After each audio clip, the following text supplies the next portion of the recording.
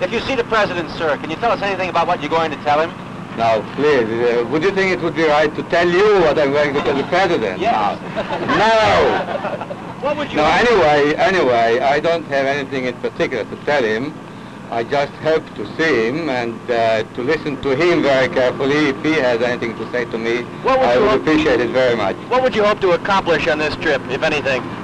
Mainly uh, to help the UJA raising fund, which we uh, need very badly.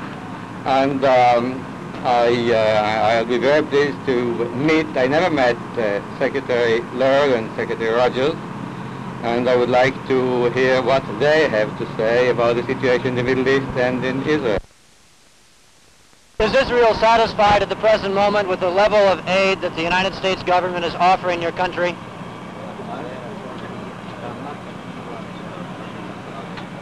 We appreciate very much what we get from you, but you know, people have a, a very great appetite, including us too. Thank you very much, gentlemen. Thank you. Thank you, Mr.